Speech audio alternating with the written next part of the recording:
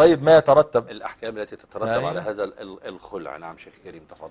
آه إنه لو قلنا إنه خلاص إنه الراجح إنه آه، فسخ يبقى بالتالي لا يحسب من من الطلقات. مهما ولو آه، تم الخلع عشر مرات فهو فسخ للعقد. ومن يرضى أن تخلعه زوجته عشر مرات؟ يعني؟ بنضرب المثل. يعني, تخلعه ثم, ثم ثم ربما. ي- يصطلح. ربما. عشر مرات. آه ربما.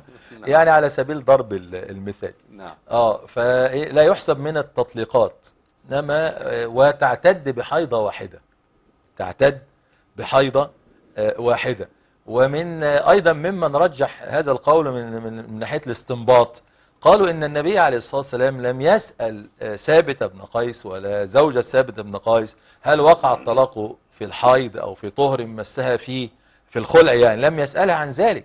بينما في ابن عمر لما طلق زوجته طلقها في الحيضة في الحيض فأمره أن يراجعها ويمسكها حتى تطهر ثم إن شاء طلق وإن شاء وإن شاء أمسك. فقالوا طالما أن النبي عليه الصلاة والسلام لم يسأل يبقى حكم هذه المسألة الخلع هنا يختلف عن حكم عن حكم الطلاق. هذا أيضا يعني مما استنبطوه من الجمع بين آه، بين الأدلة.